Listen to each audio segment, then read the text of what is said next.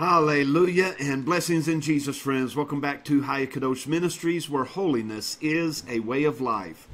Jesus is truly King of Kings and Lord of Lords, and the Holy Bible is our only standard and authority for truth. And together, God's people say, Hallelujah.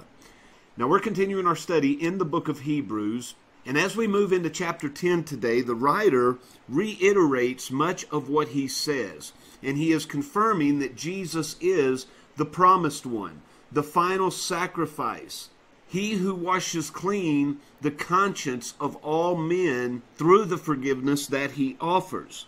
And so, after reaffirming and reestablishing these facts, in verse 22 he says, Because of this, let us draw near with a true heart in full assurance of faith, having our hearts sprinkled from an evil conscience and our bodies washed with pure water, which is the Word of God. He continues, Let us hold fast the profession of our faith without wavering. Let us not go back. And let us consider one another to provoke unto love and to good works, not forsaking the assembling of ourselves together, as the manner of some is, but let us exhort one another and so much the more as we see the day of the return of the Lord Jesus approaching.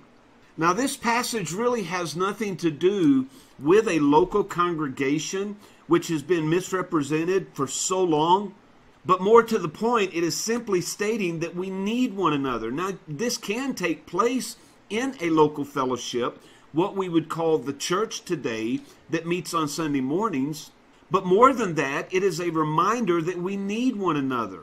Because all of us are going to face difficult times when we doubt and we worry, and we need others to encourage us to get our minds off the things of this earth, off the problems of this earth, and cast our attention and our focus upon God who is in control of all things. And sometimes we become blinded by our problems and we can't see past the veil of our problems. And so we need others to help us bring down the veil so that we can look unto God, who is the source and the resolver of our problems. And you should have someone in your life to help you do this, to encourage you daily. Now, I, like many of you, have not been able to find this in a local fellowship, and that is very discouraging because the churches of today seem to be no more than religious social clubs. And so it is my prayer through this ministry that you will not each individually come here for training in the Word of God, for a positive word of exhortation each day, but that you will begin to realize that you all have something in common. You all are seeking truth, truth that you can't find anywhere else. And because of this, you have a common bond. So I would encourage you to reach out to one another. I love to hear from you your responses on what these videos mean to you each day. And it's a source of strength and encouragement for me. But if you'll read the replies of what each of you have to say, you're all saying the same thing. And so reach out to one another, begin to correspond with one another, because you and I are not alone. Although we may not be able to find that support system locally that we are looking for, there are truth seekers scattered throughout the world that are coming to these videos each and every day sharing the same concerns as you. And these are your brothers and sisters in the Lord Jesus who love Him dearly, who love His Word, and are seeking someone, anyone, to preach it uncompromised and unadulterated. Not scared of offending others in love, all in the hopes of help forming them into the image of the person that the Lord Jesus so created them to be. It would be wonderful if each of us had this support system locally. But the Lord has done the next best thing, and He's given us one another through this ministry. So let us reach out, friends, and not forsake the assembling of ourselves together, exhorting one another daily, and encouraging one another daily. And as we spoke of in a previous video, he says, For if we sin willfully, after that we've received the knowledge of the truth, there remains no more sacrifice for sins, but a certain fearful looking for of judgment and fiery indignation, which shall devour the adversaries. In verse 31, it is a fearful thing to fall into the hands of the living God.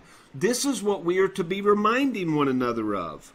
He says in verse 35, Do not cast away your confidence. In verse 36, after you have done the will of God, you might receive the promise.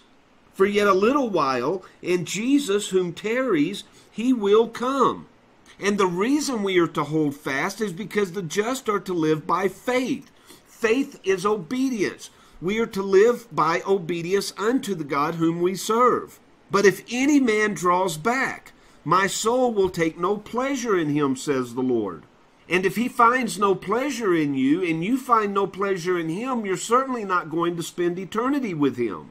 We are not of those who draw back unto perdition, unto exclusion from salvation. But we are them that believe to the saving of the soul. Belief has the reward of saving of the soul.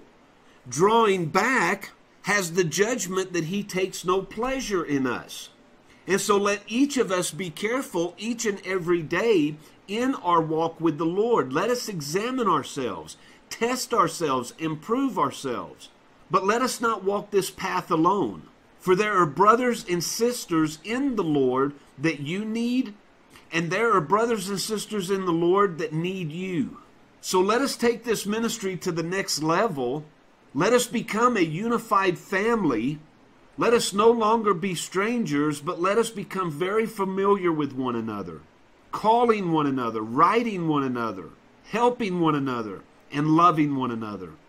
Well, it is a true blessing of the Lord Jesus to be with you once again, to share the word of life with you.